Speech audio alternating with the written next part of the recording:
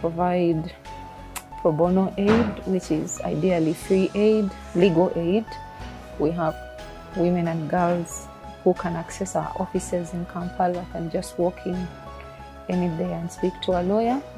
Mental health and well-being and welfare and self-care for the lawyer is important. It's something we even budget for and advocate for with our partners and donors that support our work.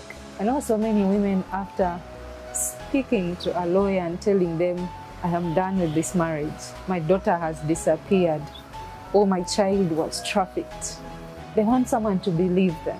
What I am going through is not just a concern because I am a mother or a wife or I'm someone going through divorce, I'm losing my children in a custard battle.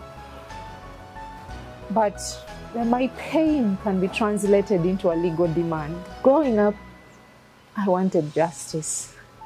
But my mom was merely a primary school teacher, and the only thing that always kept her in the marriage is that so her daughters could get an education. But when I see a poor woman who can't afford a lawyer, because I know my mom needed a lawyer on so many occasions. So when I see these women coming out, I tell my colleagues every day that I see my mother walking to our office every day, saying my child has been taken to Saudi Arabia and I, I want Prima to come back. every day I see that and I have to stand with that woman and say Prima has to come back.